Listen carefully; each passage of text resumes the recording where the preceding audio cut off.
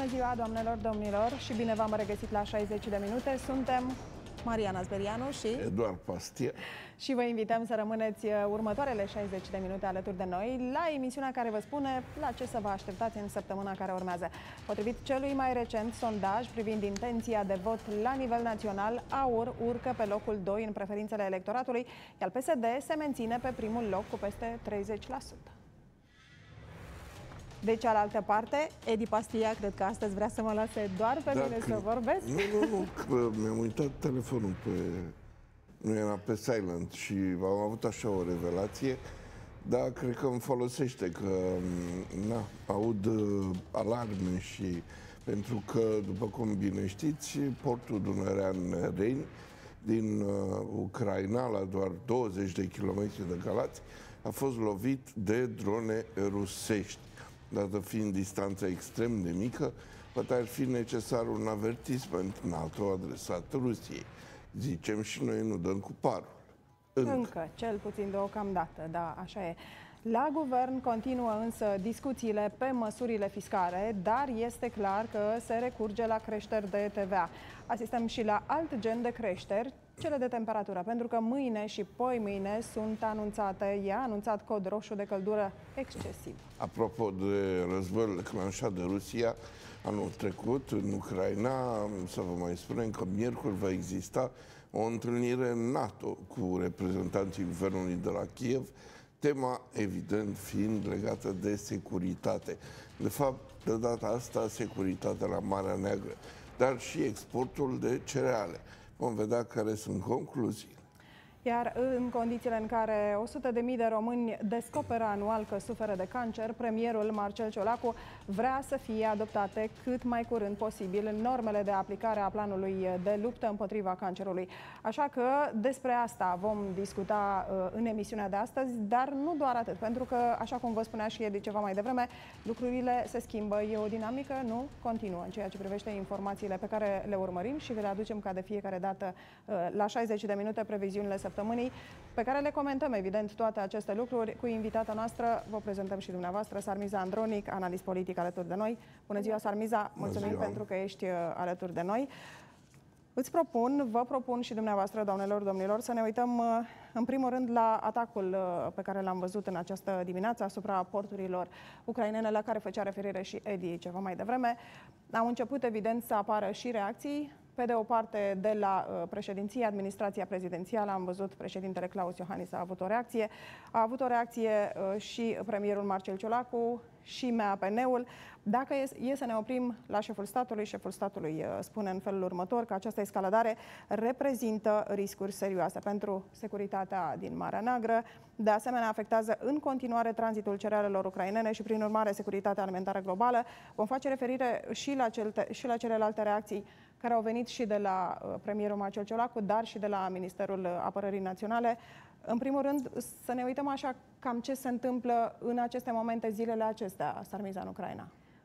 Bun, trebuie spus ca să înțeleagă toată lumea cei cureni, nu e pe teritoriul României. E la 20 de kilometri de România, da? Deci nu e pe teritoriul nostru. Cumva noi am așteptat reacția autorităților și bineînțeles că ele au venit. Uh, destul de târziu, zic eu, așa, pe la prânz, deși toată povestea s-a întâmplat azi noapte. Însă, uh, pe de altă parte, cred că e vorba și de o oarecare atenție în felul în care se comunică uh, cu această chestiune, pentru că știm foarte bine, rușii au declarat, eu nu pot să fac abstracție de asta, au declarat la un moment dat, chiar au amenințat de mai multe ori România, știm foarte bine, am comentat, numai că uh, nu poate rămâne fără urmări chestiunea cu, cu podul către Crimea. Pe mine declarațiile alea venite așa în rafală de la Zaharova, de la Pescov, de la Lavrov, m-au cam pus pe gânduri. Acum, sigur, nu ne gândim că ajunge Rusia într-o țară NATO și nu cred că e cazul să ne facem prea multe griji, dar pe de altă parte, sigur că avem nevoie de reacțiile autorităților. Au fost niște reacții corecte, ca la carte, așa, nu au spus nimic în mod special, dar, repet, pentru prima dată, cred că pot să spun că înțeleg acest gen de declarații, având în vedere precauția cu care trebuie abordată această problemă. Uh, rușii atacă în continuare, contraofensiva ucraineană nu prea există Și sigur că acum vor, și să nu uităm totuși războiul informațional, sigur că Ucraina va profita cu ghilimelele de rigoare de această poveste și va avea grijă să atace Rusia din punct de vedere comunicațional foarte, foarte puternic și până la urmă pe bună dreptate, da? Iar noi, ă, repet, trebuia să avem o, un, un șir de declarații vis-a-vis -vis de, de povestea asta de la autorități. Da, a fost cam rapidă reacția asta a Rusiei. Ă, da. Nici nu s-a suspendat bine acordul și deja au luat la țintă lozurile. Adică Bine, nu mai spun de obiectivul UNESCO, catedrala din Odessa a făcut-o zopas noapte. Deci eu în continuare cred și vă repet că este un mod de a reacționa un mod... Acum, eu nu cred că cineva se aștepta ca acordul ăsta să rămână. Rusia nu avea de ce să rămână privind din punctul lor de vedere. Că vorbim de o nedreptate, că vorbim de o agresiune, e foarte adevărat, dar Rusia a spus că va reacționa urât. A spus că nu se poate să rămână fără urmări toate lucrurile astea. Și când a fost de Nord Stream la fel, și când a fost cu podul, ă, celălalt pod pe la începutul conflictului și acum cu podul spre Crimea. Adică ă, ne-au tot amenințat, ne-au tot amenințat și acum, știi, fac niște mișcări. Eu sunt foarte îngrijorată sincer. Pentru că nu văd uh, ca rușii să rămână atât de mult timp doar la nivelul de declarații. Nu, nu, nu cred. Uite, faptul că au atacat uh, uh, portul este o mare problemă. Dincolo de uh, povestea cu cerealele, este faptul că e foarte aproape de noi. Ei știau că oricând se poate întâmpla un accident. Și atunci izbucnea un mare scandal. Uh, avem nevoie de reacțiile autorităților și mai ales cred că avem nevoie, poate că asta lipsește cumva din declarații, uh, faptul că noi suntem cumva pregătiți pentru orice. Aș fi vrut să aud totuși și această declarație. Am văzut că și Ministerul Apărării, cred, a dat un comunicat foarte sec că și Ministerul condamnă agresiunea, cu toții condamnăm agresiunea Rusiei împotriva Ucrainei, doar că acum suntem puțin mai îngrijorați decât altă dată. Și mai spune acest comunicat, uh, ca și completare la informațiile pe care le spuneai tu, Sarmiza, uh, spune în felul următor Ministerul Apărării Naționale, din evaluarea structurilor uh, cu responsabilități ale Ministerului Apărării Naționale, nu rezultă în acest moment posibilitatea unor amenințări militare directe la adresa teritoriului național sau apelor teritoriale ale României. Armata României continuă implementarea măsurilor vigilente de întărire în spațiul național terestru, maritim și aerian și a celor de consolidare a posturii de apărare și descurajare pe flancul estic stabilite conform planurilor naționale și aliate. Și în completare, apropo de reacția președintelui Claus Iohannis, pe care am comentat-o aici și aceasta a Ministerului Apărării, premierul Marcel Ciolacu, pentru că făceam referire și la el ceva mai devreme, spunea așa, pe finalul mesajului domniei sale, Facem apel la Federația Rusă să înceteze atacurile aeriene asupra uh, infrastructurii portoare ucrainene. Țin, țintirea obiectivelor de infrastructură portoară reprezintă încă o dovadă în plus a intenției Federației Ruse de a submina exporturile de cereale către piețele globale. Eu mi-amintesc de zilele trecute, pentru că am mai discutat despre subiectul ăsta, Vladimir Putin a declarat la un moment dat că el ar fi dispus cumva să fie prelungit din nou acest acord dacă sunt respectate condițiile uh, rușilor. Erau, mă rog, acolo trecute mai multe chestiuni, printre care celebra problemă cu uh, instituțiile lor financiare nu să fie sau nu în SWIFT și așa mai departe. Și da. uh, cumva au încercat să negocieze într-un fel, uh, probabil uh, să fie degrevați de anumite uh, condiționări. Bun, uh, nu știu cine își asumă chestiunea cu negocierea. Uh, Turcia? Turcia, ONU, da? Uh, noi știm că acest acord a fost între Ucraina și Turcia și Rusia și Turcia, da? Sigur că în cazul ăsta chiar Turcia ar fi trebuit să fie un fel de moderator sau de negociator. Uh, nu se întâmplă încă nimic. E foarte ciudat că nu se întâmplă. Pe de altă parte, acum dăm voie să fiu un pic subiectivă, dacă vorbim despre cerealele ucrainiene. Uh, am văzut că Polonia a avut o reacție extrem de dură vis-a-vis de mm, chestiunea cu cerealele și aș vrea să văd totuși autoritățile din România că sunt un pic mai atente la ceea ce se întâmplă cu fermierii noștri.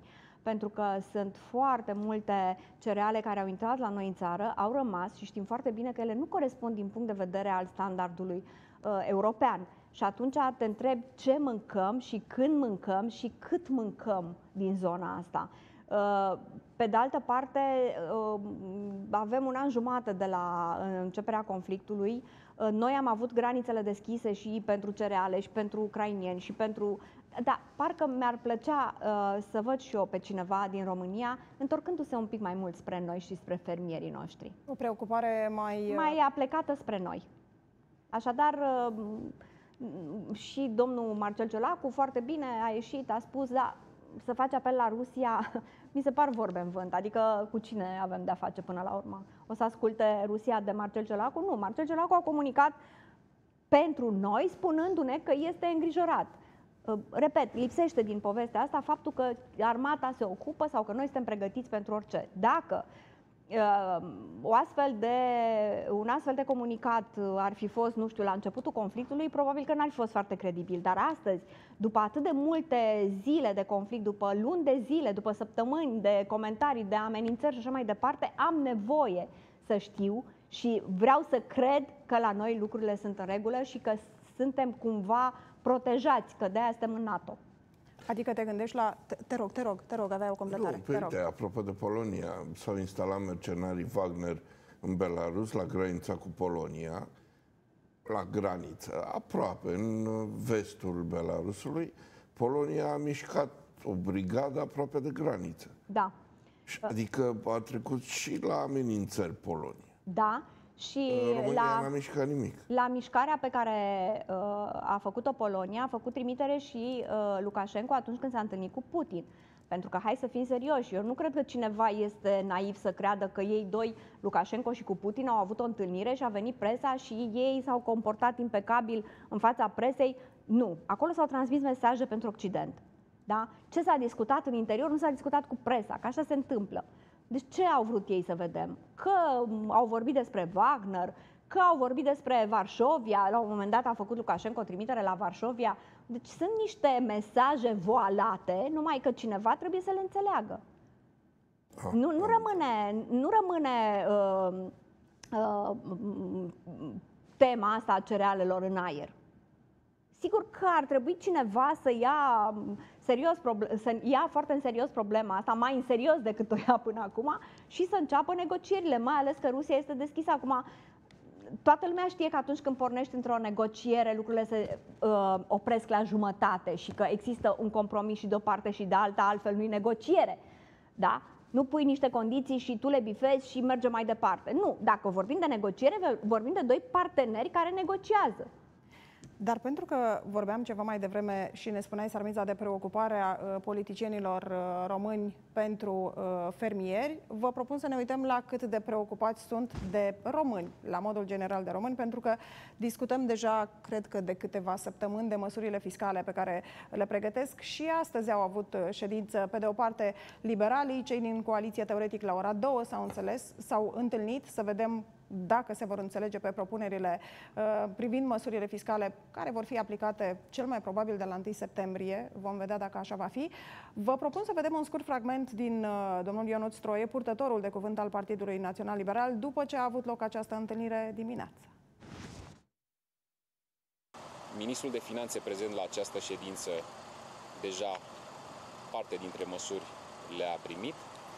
Pe de o parte, eliminarea cheltuielilor neesențiale, reducerea cheltuielilor care nu sunt neapărat necesare sau absolut urgente în acest moment, de ce nu poate redimensionarea anumitor instituții sau bugetelor alocate în momentul de față, anumite analize privind eficiența muncii versus bugetele alocate, toate aceste lucruri sunt necesare când vorbim de efortul pe care trebuie să-l facem în acest an pentru încadrarea în ținta de deficit bugetar.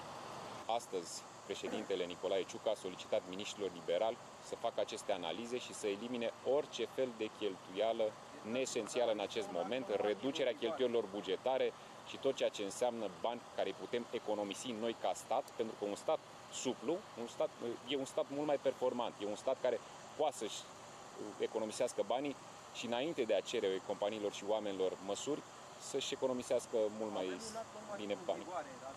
Orice fel de categorie de cheltuieli neesențială în acest moment și de care, evident, ne putem lipsi, e binevenit. Așa că vă pot confirma faptul că una dintre surse poate să fie această economie care se face, de exemplu, în zona uh, carburanților, în zona cheltuielilor de bunuri și servicii, în zona cheltuielilor de funcționale, de funcționare nenecesare instituțiilor uh, în primul rând, mi-am amintit de declarația pe care a făcut-o premierul Marcel Ciolacu săptămâna trecută când le-a cerut tuturor celor de la guvernare, evident, PNL-ului și PSD-ului să nu meargă în vacanță, pentru că cred că putem să le mărturisim celor care se uită la noi. Ne uităm la politicienii care se duc în vacanță. Nu știu dacă uh, s-a întors, cred că fostul premier Ciucă, nu pentru că a avut întâlnire dimineața și domnul Stroie pare că a fost în concediu. Acum e bine, poate să mergem... Lasă-mă bine... să zic eu, că e... nu îmi place când purtătorul de cuvânt țara arde și el se duce la bronzat. Nu îmi place. Pe de altă parte, uh, auzeam uh, un uh, specialist în resurse umane zilele trecute care exact despre asta vorbea și omul explica foarte frumos cum e nevoie, ai nevoie și de concediu, pentru că degeaba ții un funcționar, nu știu, să spunem, fără să-l lași să meargă în concediu, pentru că el s-ar putea să nu mai fie productiv, poate. E prea obosit. Paranteza asta ca să mai și zâmbim. Deci parlamentarii noștri, funcționarii noștri, s-ar putea să fie obosiți. Uh, Crezi că sunt foarte stresați? Păi nu știu, ar trebui să fie, pentru că teoretic în luna august așteptăm să se întâmple foarte multe lucruri. Atunci așteptăm aici. o renegociere a PNRR-ului, așteptăm, o să ajungem, pentru că zilele acestea, uh, noul ministru al muncii trebuie să se întâlnească cu cei de la Banca Mondială, avem o lege a salarizării unitare, nu care e puțin întârziată, avem o lege a pensiilor care la fel nu știm cum stăm la capitolul ăsta. Așteptăm și de la CCR niște lucruri, dar o să discutăm un pic mai târziu. Dar mie ce mi-a atras atenția uh, la domnul Ionuț Stroie e următorul lucru.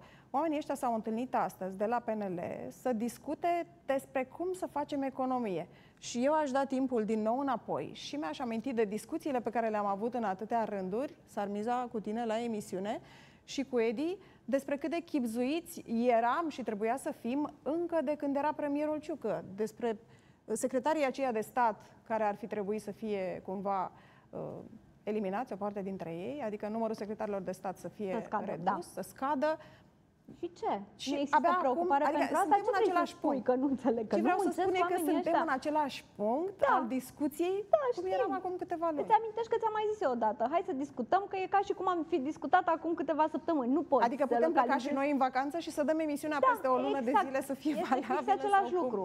Um, eu am văzut foarte multă supărare în Partidul Național Liberal, cel puțin din punct de vedere declarativ, că domnul Boloș ascultă de Partidul Social Democrat și că nu e regulă ce face și că va trebui să vină, să dea socoteală, că bine ar fi să nu mai iasă public, să nu mai facă uh, niciun fel de comentariu până nu vorbește cu partidul, așa o fi. Însă noi suntem uh, pe repede înainte și ceea ce remarc eu, sau ar trebui să fim, ceea ce remarc eu este această poziționare pe care noi avem cu Uniunea Europeană. Uh, stăm cumva cu mâna întinsă în sensul că PNRR-ul trebuie uh, renegociat. Deficitul, deși ei au spus 4,4%, noi vrem să avem o altă cifră. Uh, urmează nu știu ce negocieri. Tot timpul, noi nu știm să mergem, să spunem, uite frate, am rezolvat problema asta, dați-ne ce trebuia să ne dați. Nu, noi mergem să mai cerșim un pic. Acum, iartă-mă, ăsta este termenul. Uh, vin unii uh, care fac niște prostii, vin ei la scot uh, cartoful fierbinte sau, da, și nu se întâmplă niciodată nimic cum ar trebui să se întâmple. Aici nu există o, o linie, nu există un proces normal. Uh, am făcut, uite, Uniunea Europeană a zis că ne dă bani, da, și noi facem asta și a, a, am acceptat condițiile, hai să le și punem în practică. Nu, noi trebuie să ne mai gândim puțin cum să facem să mai păcălim un pic Uniunea Europeană și Comisia, dacă se poate, și să ne mai lase un pic. Mă, nu așa se face treabă. Nu așa. Am vorbit despre PNRR-ul ăsta renegociat nu știu cât. Acum vorbim de legea salarizării. Avem o gaură în buget de 49 de miliarde. Nu? Că asta era suma de mai devreme. Ei au făcut une, o economie de 5,3 miliarde. Păi de câte ori trebuie să se mai întâlnească ăștia ca să mai facem economie? Păi face socoteala de la 5,3 miliarde lei la 49 de miliarde, eh, cam e, de unde pare, să mai taie? Pare că fiecare minister o să primească sarcina de a-și reduce cu încă 10% fondurile până în toamnă, astfel încât să iasă la socoteală. Mai, pe de altă parte, nici nu poți să tai din salarii. Serios, și oamenii o duc rău. Nu știu de unde ai Păi, putea să mai tai. TVA-ul tai din salarii. Da, și asta e adevărat. Lasă că, vremuri vom, de lasă că vom criză. vedea, Dar mai, nici o să mai reformă treacă o nu- lună. nu vor să Hai că facă. din toamnă totuși. Ni- Nici reformă nu vor să facă, pentru că vorbim de legea salarizării unitare și am văzut-o zilele trecute, a ieșit noul ministru, noua ministra muncii, a ieșit și a discutat, mă rog, auzim același lucru pe care îl auzim de ani de zile, de performanța uh, de la nivelul instituțiilor de, instituțiilor de stat. Dar cum se întâmplă lucrul ăsta? Adică noi auzim chestiunile astea, dar nimeni nu vine concret să ne explice. Plus că domnia sa probabil a preluat ce a lăsat domnul Marius Budăi, nu? Asta e adică clar. Asta spun. Sunt Păi trei nu asta variante vorbea, despre care se discută. Nu despre asta vorbea și domnul Budăi, nu despre asta vorbeam cu toții până mai ieri. Foarte bine că preia ce a lăsat domnul Budăi. Dar n- n- nu văd făcând mari mișcări, sincer. Am văzut că a vorbit despre pensii, că nu vor scădea, că astea nu sunt asigurări. Vorbim despre o altă zonă pe care trebuie să o abordăm.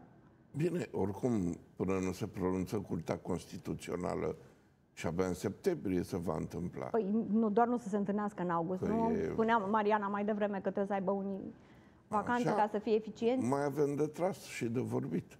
Păi da, Adică mai avem, oho. Uh, Doamna ministru al muncii nu o să plece.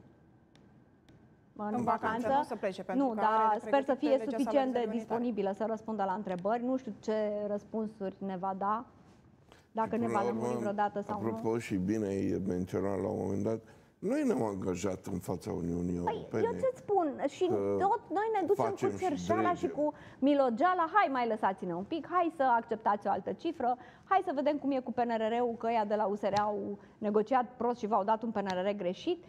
Nu, nu e în regulă. Da, până la urmă, ă, astea sunt declarații politice, e și un pic de ipocrizie la mijloc, pentru că știi că despre Nu PNRR-ul e ăsta și declarație renegociere politică. și despre Ce renegociere... declarație politică, Am mai Mariana? discutat. Dacă tu te duci la uh, Comisia Europeană și îi spui cu PNRR-ul, tu USR, și îi spui, uite, eu vreau să tai pensiile astfel încât să mă încadrez în 9,4% din PIB.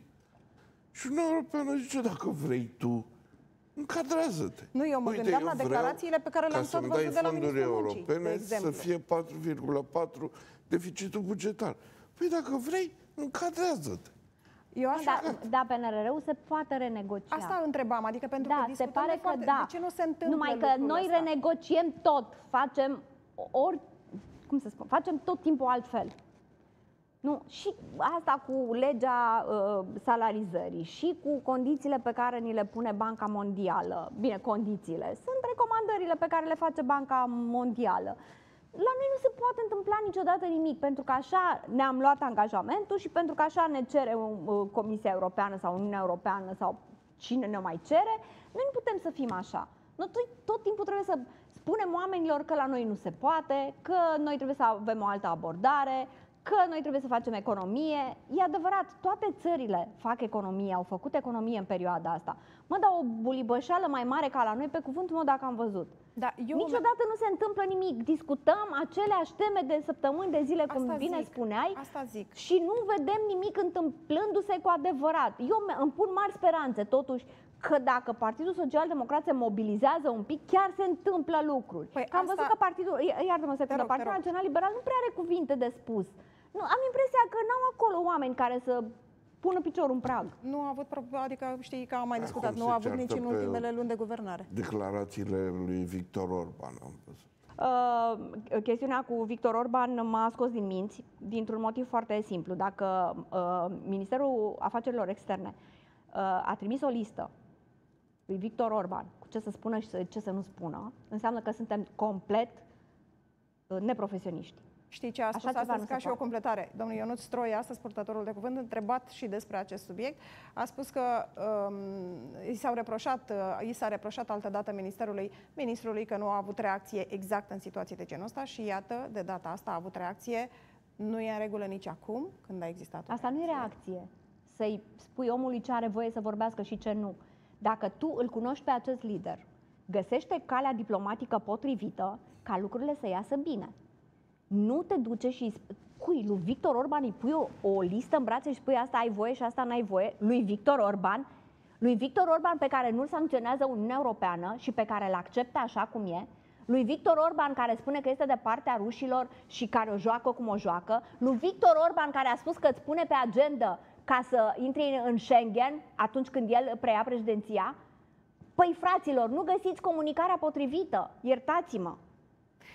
Ne-ai ridicat cumva o minge la fileu, pentru că, așa cum spuneam la începutul uh, emisiunii, suntem la uh, previziunile săptămânii și, apropo de asta, uh, noul ministru de interne, pentru că discutai, făceai referire, da, pentru că făceai referire la Schengen, va avea o întâlnire cu ministrul de interne austriac.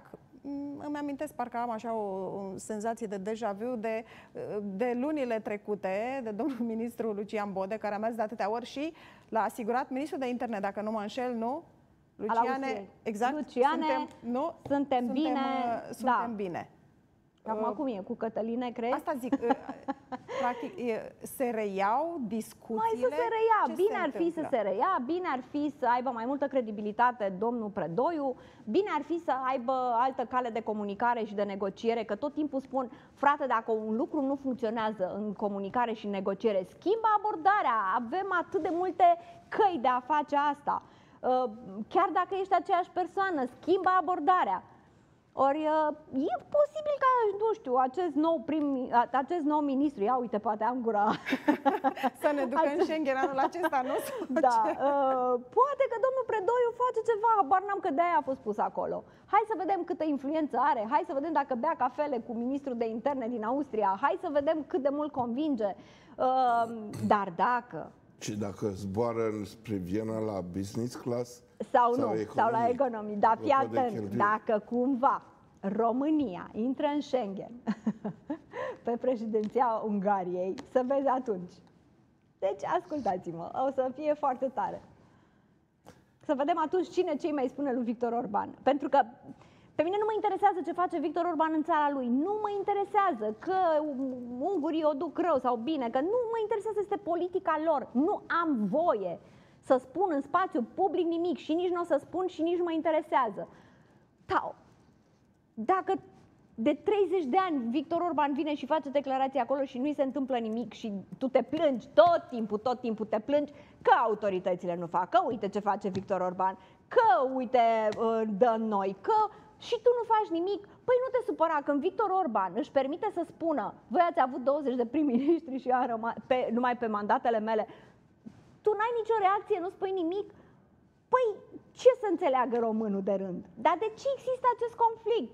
Niciodată, niciodată, cel puțin, bine, hai să nu zic niciodată, în următoarea perioadă, 50 de ani, 100 de ani, Ardealul nu va fi a Ungariei, niciodată în perioada asta. Nu, e o complicație, avem un conflict la graniță, își pune cineva mintea pentru asta, e o poveste care a trecut, a venit, iar a trecut, iar a venit. De ce ne facem viața grea? Și de ce nu învățăm să avem niște reacții uh, normale, da, măi, și, și la timp, până la urmă. Și la timp. Și la timp, Și da. de ce nu folosim Dar... diplomația? Pentru că uh, o comunicare în spațiu public înseamnă una și o comunicare diplomatică la nivel de omologi înseamnă altceva. Eu am apreciat foarte tare că Victor Orban s-a întâlnit cu Marcel Ciolacu și aici este meritul lui Marcel Ciolacu. Da, păi da, dar întrebarea văzut... este până la urmă uh, a, a procedat corect că a făcut lucrul ăsta, adică pentru păi că dacă vedem ce s-a întâmplat după, nu, nu știu, întreb. Păi, da, da, da. De ce Din să nu procedeze? Vedere... Mie mi se pare că a făcut foarte bine și nu știu când a venit Victor Orban ultima dată să se întâlnească cu omologului din țară. Până la urmă, sunt bărbați amândoi, sunt bărbați de stat, foarte bine că s-au întâlnit. Fac parte din aceeași gașcă, organizație. Nu, adică, cum adică? Adică din Uniunea Europeană. A, e normal fac parte să din... se întâlnească. Dar de ce oare nu mai fi gândit? da, deci Victor Orban, dacă face declarații împotriva Uniunii Europene pe teritoriul României, sunt ale lui. Pe mine mă interesează ca autoritățile din România să aibă reacții când uh, Victor Orban vorbește despre români, despre teritoriile românești, despre uh, politica din România, despre lucruri care țin de țara mea.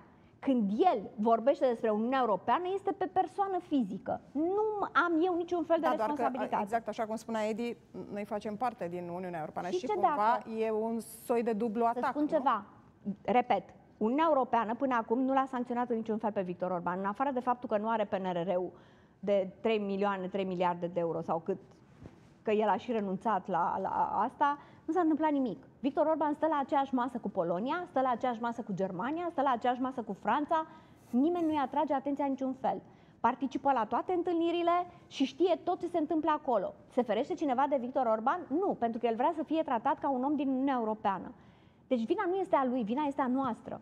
Doar a noastră și a Uniunii Europene, că nu știe să-l țină pe Victor Orban suficient de departe. De ce nu se întâmplă asta? Nu pot eu să vă răspund oficial. Vreau să ne întoarcem puțin la, pentru că spuneai ceva mai devreme, că uh, oamenii evident că vor reacții de la politicieni, vor și acțiune la un moment dat din partea uh, politicienilor și modul în care reacționează aceștia și se poziționează într-o situație sau alta, că vorbim de Victor Orban, că vorbim de ce s-a întâmplat uh, de atacul rusesc asupra porturilor ucrainene, că vorbim de măsurile astea fiscale, uh, ne gândim la uh, modul în care vor fi sancționați sau nu politicienii pentru că vin alegerile. Și ne uitam cu Edi dimineața pe ultimul sondaj curs, care arată cum surprinzător sau nu? nu? Pentru că am văzut acolo că pe primul loc uh, e PSD-ul, a urcat pe locul 2 uh, AUR. E de mult pe nu? locul 2 AUR.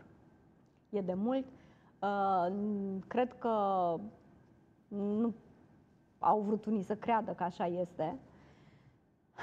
Uh, dacă Partidul Social Democrat va avea o comunicare bună în perioada asta și va reuși să comunice foarte bine ceea ce își dorește să facă, mai ales că crede cu adevărat că ceea ce face, face bine, poate să fie uh, la un procent mai mare de 31%, pentru că este uh, la putere, pentru că are pârghii, pentru că poate face lucruri. Repet, aici uh, instrumentele de comunicare sunt foarte, foarte, foarte importante. Cine comunică, cum comunică, cum explică românilor, Uh, de ce trebuie să se întâmple anumite lucruri și așa mai departe. Pentru că, din punctul meu de vedere, Partidul Social Democrat are aici o sincopă, dacă vrei. Din când în când uh, trebuie să vină cineva să explice concret ce și cum, pentru că altfel noi stăm și speculăm prin platurile de televiziune.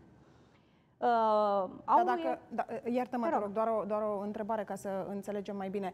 Uh, dacă nu livrează toate lucrurile despre care a vorbit. Pentru că ne întoarcem un pic la Marcel Ciolacu și la tot ce a promis el. La reforme, la banii pe care trebuie să îi atragem. Uh, astăzi a vorbit pe surse, au apărut informații în presă că, uh, că sunt 200 de mii aproximativ de locuri uh, bugetate la stat, dar care nu sunt ocupate. Toate ar trebui să fie, adică să nu mai, să nu mai fie bugetate tocmai pentru a face acea economie despre care vorbesc.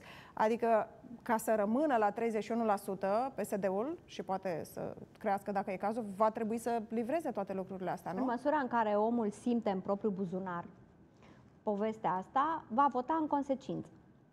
Da? Deci dacă omul simte că o duce un pic mai bine, că Marcel Ciolacu este credibil, îl va vota. Dacă nu simte în propriul buzunar și îl crede pe Marcel Ciolacu, iarăși este posibil să-l voteze. În momentul în care omului i-ai luat dintr-un buzunar cât avea el acolo în fișicul lui, uh, avem o problemă. Nu mai poate fi Marcel Ciolacu credibil. Unde Dar se duce? nu, hai să nu ne... Uh, vorbim despre Partidul Social Democrat. Dacă... Eu cred că este o mare greșeală pe care o face Marcel Ciolacu, este extrem de expus. În fiecare zi avem declarații de la el, în fiecare zi, pe de o parte, e bine că îl vedem activ, dar pe de altă parte, este imposibil când ieși în fiecare zi să nu greșești. Și s-ar putea ca la un moment dat greșeala să fie una foarte gravă, nu știu care, de exprimare, de ceva. Dacă omul e om și e firesc la un moment dat să greșească.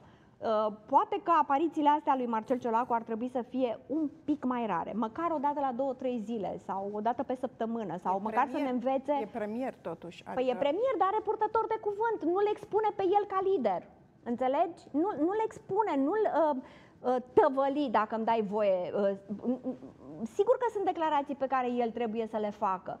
Dar hai să ne limităm la declarațiile care sunt absolut obligatorii pentru un premier. Altfel, există purtătorul de cuvânt care poate să preia că ăsta e rolul lui în lumea asta, da? să fie interfața între lider sau instituție și presă. Lasă-l să se manifeste, că pe el nu îl poate ataca nimeni. De aia se numește interfață. Dar cum putem explica ascensiunea asta aur? E din răzbunarea electoratului Uh, lipsă de educație. Nu vorbim despre asta. În primul mm. rând, tu trebuie să știi un lucru. Oriunde în lumea asta, electoratul este sfânt. Nu te legi de el. Niciodată. Electoratul ce decide, aia e. Noi putem să comentăm de ce a crescut, de ce cred eu că a crescut aur, pentru că uh, George Simion, pentru că el e aur, eu nu văd prea mulți lideri aur sau um, comunicatori din partea partidului uh, Alianța pentru Unirea Românilor, că nu-i partid, nu, e alianță, mă rog, partidul aur, nu văd foarte mulți comunicatori să zici că sunt omniprezenți și că ei pot și vor să-și transmită mesajele. Acolo îl avem pe George Simion, care este uh, foarte agresiv, cu care oamenii rezonează pentru că cineva vrea să-i dea o palmă unui politician și atunci cine o face? George Simion. Și la propriu și la figurat, dacă e nevoie, da? Uh, cine uh, arată tot timpul cu degetul și vorbește în așa fel încât lumea să înțeleagă că politicienii nu stă regulă? George Simion. Păi, deci această creștere a partidului vine din rezonanța pe care o are publicul cu mesajele lui George Simion. Nu, nu a ajuns uh, aur pe locul 2 pentru că are nu știu ce uh, inițiative legislative, pentru că a făcut nu știu ce, că a uh, făcut acte de caritate, că a construit spitalele pe care le uh, promitea sau că a început să construiască spitalele respective. Nu, nu despre asta vorbim, ci pur și simplu românii se uh, uh, înghesuie în spatele lui George Simion pentru că George Simion, pentru că ei ar da un pumn, metaforic vorbind, politicienilor. Și atunci ei nu o pot face, dar l-au instrument pe George Simion. Asta este motivul pentru care, din punctul meu de vedere, a crescut aur. Că în rest, dacă tu îmi spui mie o inițiativă legislativă pentru care ei să se fi bătut cu adevărat și să le lipești în frunte, eu îmi scot pălăria în fața ta, nu știu. Păi, și atunci e vreo diferență între intenția de vot de anul ăsta și cum va vota românul anul viitor? Hai să ne înțelegem. Adică S-ar Acest putea curs... românul să înceapă să gândească exact cum spuneai tu, hai să vedem ea ce a construit aur. Da, a, păi aur Edi, e în opoziție, nu știu. Da, ce spui tu și ce spun eu e una. Oamenii uh, nu se vor duce de lângă aur decât dacă fac ăștia o mare prostie. Deocamdată ăsta e trendul în creștere. Cât se vor gândi la ce spunem noi acum? 1%, 2%, 18 tot vor avea și tot vor fi pe locul 2 crede-mă. Așa funcționează, iar la europarlamentare vor rupe. De ce? Pentru că au niște oameni care se bat deja în Parlamentul European și care sunt foarte agresivi. E nevoie de asta? Habar n-am, o fi. Dar uh, această agresivitate i-a adus pe locul 2, să știi. Cât de mult contează în momentul în care uh, votanții merg la urne, cât de mult contează cum văd ei viitorul? Pentru că ne uităm și la întrebarea asta, credeți că situația dumneavoastră ar fi mai bună sau mai rea peste un an de zile? Uh, uite, abia 16% spun că va fi mai bună, va fi la fel aproape 40%, va fi mai rea 40%. Uh, uh, și cred că peste 70% spun, bine, asta cred că cam în toate sondajele de opinie, când sunt întrebați românii în ce direcție se îndreaptă țara noastră, într-o, exact, da, asta e procentul uh, foarte mare. Adică situația individuală a fiecăruia cât de mult contează sau e fundamental, chiar contează în momentul în care se duc la vot și pot Mai când se duc la vot, uh, nu se gândesc la oamenii care pot face lucruri. Simpatizează sau nu cu persoana respectivă, simpatizează sau nu cu un partid. Uh, eu de foarte puține ori am auzit în spațiu public spunându-se, a, ăia un proiect, hai să-l votăm. De foarte puține ori, sau spre deloc așa. Uh, nu știu dacă Aur va face vreo mișcare, că mă întreba Edi cât de mult contează intenția de vot și votul propriu-zis. Să ne înțelegem, ăsta este un sondaj acum. Habar n-am ce o să fie. Poate fi la 23% sau la 17% aur peste... Depinde, sunt, se pot întâmpla și se pot răsturna sondaje de la o zi la alta. Deci e greu de spus. Noi comentăm acum acest sondaj de aur pe locul 2. Și a, aș, asta este realitatea. Dacă ne ducem la PNL, care are 18%, mie mi se pare foarte mult procentul. Foarte, foarte mare. Nu cred că uh, Partidul Național Liberal are 18%. Nu am cum să cred asta. Nu avem comunicatori de la PNL, nu se leagă PNL-ul de vreo măsură specială, ba din potrivă, nu contrazice PSD-ul pe măsuri, că n-au ce contrazice și atunci nu-mi dau seama de ce încă mai au 18%, pentru că probabil are un public fidel, un electorat fidel. În rest, nu văd motivele pentru care cineva și-ar dori foarte tare să voteze Partidul Național Liberal. Au niște miniștri foarte activi? Nu. Au niște miniștri care să iasă în față cu proiecte, cu nu știu, e, a venit Partidul Național Liberal să facă politici publice? Nu. Deci există acolo un electorat captiv. Mai departe, ce mai avem? Mai avem PMP-ul la 4% și Pro-România 2%. Păi ăștia sunt cei care mai au pe aici, pe acolo, câte un consilier, uh, câte un primar. Deci ei încă nu au dispărut de tot de pe scena politică din, uh, din România. USR-ul are 12%. Ăștia sunt cei care nu votează aur și nici PSD sau PNL, că nu poți să spui că ești un mare fan drulă. Doar îți pui uh, sau că te-ai devenit între timp fan Clotilde Larman sau Nicu Șordan. Oamenii ăștia au făcut mai prostii. Ce, Doamne iartă-mă, să-i ducă în sondaje mai sus? N-au ce? Mă rog, nu mai știu ce partide erau pe acolo, da. Da, e clar că, uh, și e clar că vom mai discuta și probabil procentele acestea se vor modifica pe parcursul că da, următoarelor da, săptămâni, următoarelor luni, în funcție de cum uh, vor uh, mm. reacționa toate partidele și de cum vor ști să comunice cel mai păi, probabil. Absolut. Uite, Diana Șoșoacă. Uh, SOS România nu este un partid în momentul ăsta. Asta este procentul pe care îl are Diana Șoșoacă, punct. Deci, n-ai cum să spui că partidul SOS are procentul ăsta. Nu în momentul în care te gândești la partid, te gândești la șoșoacă și dai sau nu votul. Mai avem puțin și Uite, vreau să... nu văd te reper rog. pe listă. Păi e altul. Da. El e altul acolo. E altul, da. Sau, uh, nu, Pro-România este. Pro-România este.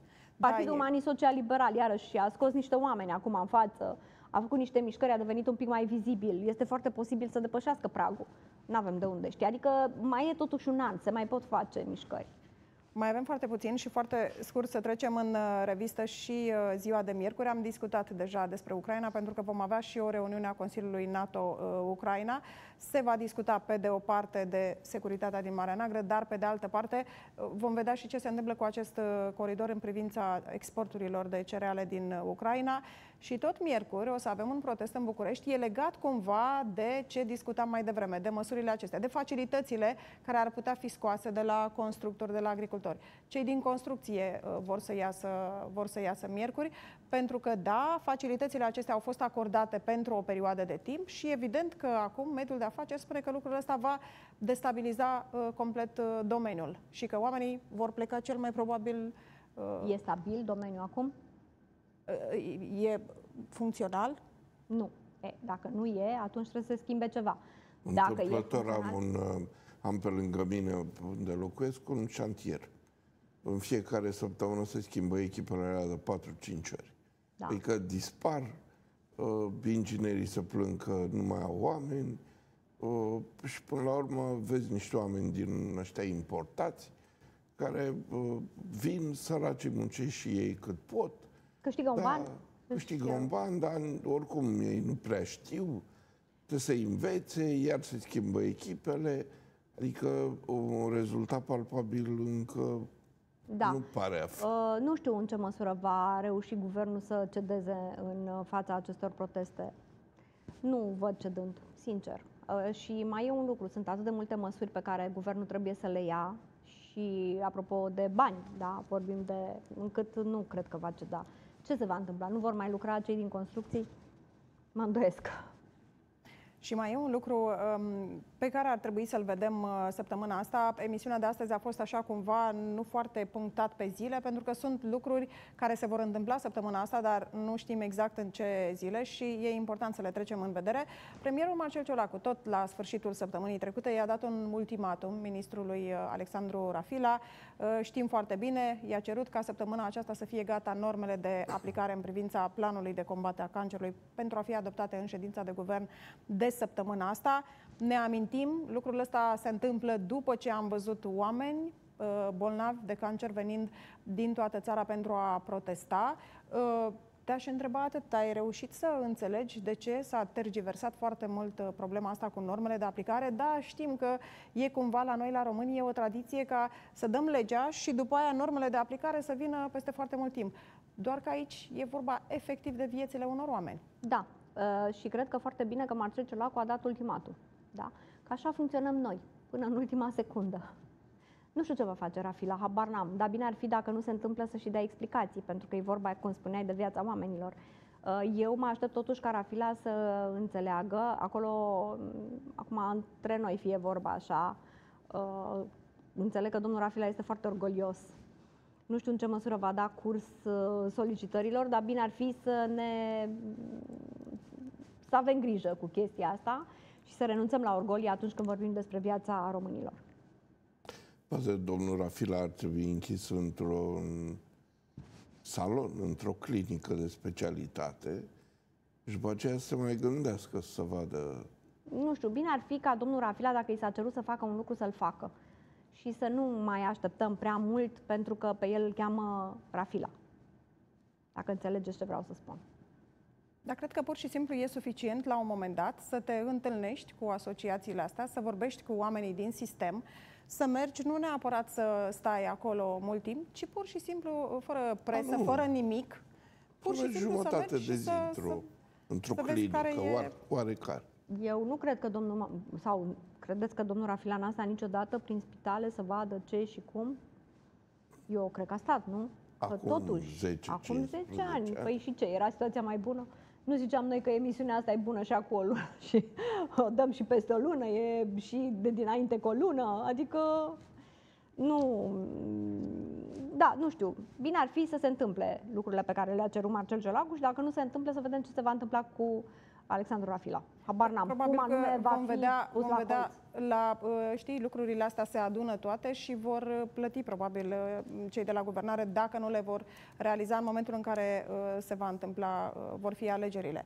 Ne apropiem, te rog. Codul roșu de caniculă. Nu ți se pare că exagerăm noi mass media cupola de foc, uh, Vipia, o să murim în chinuri. uh, N-a spus nimeni că murim în chinuri. A spus toată lumea Da, că e cam foarte așa, cald. că Mă, nu la poți să 43 de respiri. grade, cum văzusem eu la un moment dat afișat, că vor fi 43 de grade, păi nu te supăra, chiar că e caniculă. Adică tu mai gândește-te la un lucru, oamenii trebuie să fie informați, pentru că avem totuși Asta e niște una. zone, păi stai puțin, gândește-te că dacă meteorologii spun 43 de grade, înseamnă că oamenii ăia care stau în uh, între blocuri, în uh, bă, cartierele astea pline de betoane, vor resimți mult, mult, mult mai, mai, uh, uh, mai tare temperatura, mult mai, uh, o vor duce mult mai greu. Nu toată lumea care stă la bloc, după ce că stai la bloc în betoane, nu ai aer condiționat, adică cred că ar trebui ca lumea să fie un pic atentă. Cred că nu, pe mine nu mă deranjează exagerarea asta, că nu cred că este o exagerare. La 43 de grade e caniculă. Mai avem foarte puțin. La Și patru- luna la lui pași- Cuptor. E luna Nu, lui eu- Cuptor, vă- de-aia îi spune luna lui Cuptor. Dar când ai Da, mai să- avut un luna lui cuptor atât de mari, atât de, a, a, o temperatură atât de ridicată? Tot timpul, nu Cam când așa 43 de Eu grade? că aminte când eram copil se topea asfaltul când mergeam. Se topea și parcă nu percepeam așa. De Acum ce nu oare? se mai topește. Păi, dar de ce? O fi De, de ce mai ușor? și asfaltul ăsta are și el demnitatea lui, nu se topește Chiar așa o fi mai oricând. ușor, da. Eu cred că discuția și disputa, de fapt, între noi Păi nu, este uite pe... titlu. este uite pe- titlu. Temperaturile de peste 50 de grade la nivelul șinei de cale ferată. Păi normal. Dar nu ne interesează Cât calea să ferată, fie, nu? doar nu pun urechea pe cale ferată. Nu, e adevărat, dar să știi că dacă, acum nu știu cât se leagă, dar să știi că eu am auzit săptămâna trecută niște știri îngrozitoare despre oameni care au rămas în trenuri. Deci nu vrei să știi, fica mea a fost plecată la mare și a spus, mama, stăm de o oră jumate într-un tren particular, nu avem aer condiționat și nici nu se deschid geamurile, că din alea care se închid. uh, Deci se poate întâmpla și așa. Dar gândește-te că sunt oameni cu copii mici care trec prin asta sau nu ai cum să știi că nu rămâi în câmp cu În com- tren cu tot. Concluzia, de fapt, este că nouă nu ne place la fel de mult uh, temperatura asta atât de ridicată precum îi place colegului nostru Edi Pastia. de de asta, acord. di- Sunt de discuția, discuția de asta Lasă-mă este... pe mine în aerul da, meu cu condiționat. siguranță, cu siguranță vom mai uh, vorbi pentru că vor mai fi astfel de zile. Sarmiza Andronic, îți mulțumim foarte mult Mulțumesc pentru că și ai eu. fost uh, alături de noi astăzi. Doamnelor, domnilor, vă mulțumim și noi. Să aveți o săptămână răcoroasă și cu tot ce vă doriți. Numai bine.